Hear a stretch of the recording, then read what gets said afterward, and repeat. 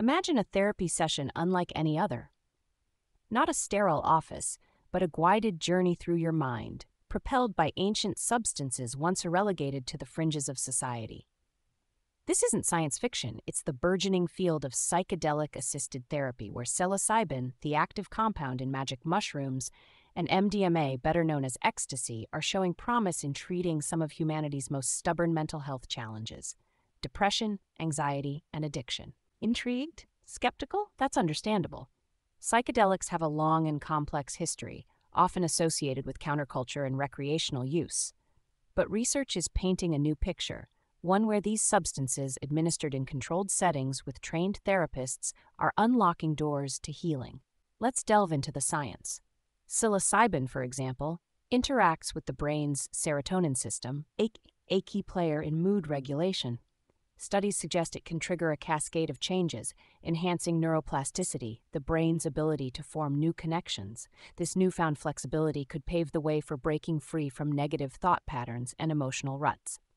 MDMA, on the other hand, seems to work differently.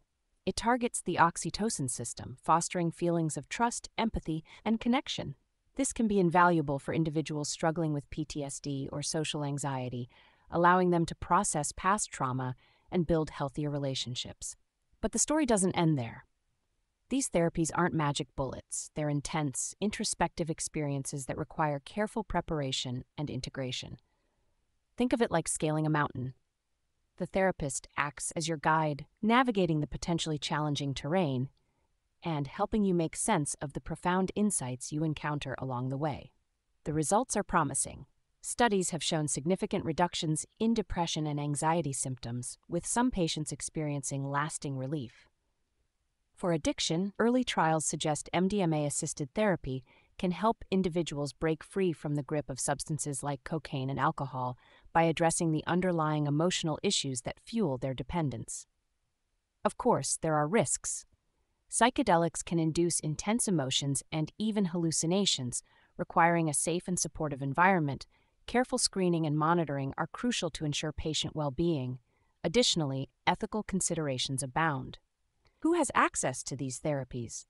How do we ensure cultural sensitivity and avoid exploitation? These are questions demanding open and honest dialogue.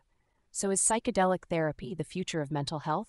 It's too early to say, but the research is compelling and the potential impact is undeniable.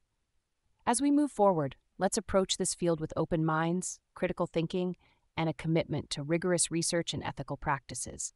Perhaps deep within the human psyche lies a hidden key town-locking healing, waiting to be discovered through the guided exploration of the trip within.